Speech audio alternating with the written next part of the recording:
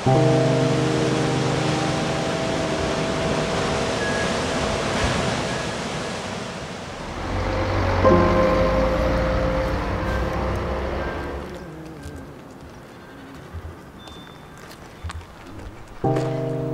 ert nú ekki með þjófsögu.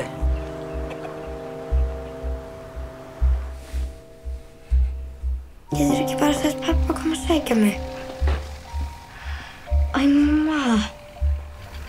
Veist það er hættulegt skrimsli sem að býr hérna. Hann getur breytt sér í fallegan, hvítan svan þannig að hann getur lokkað þig ofan í vatnið. Þar sem þú druknar.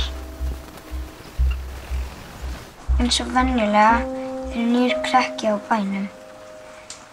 Mingja börnin, þau vita ekki til hvers þau eru hérna.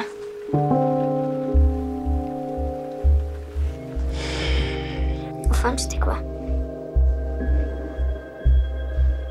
Ég ætla að sjá árbyrli. En þú? Fannst þú eitthvað? Bara þig.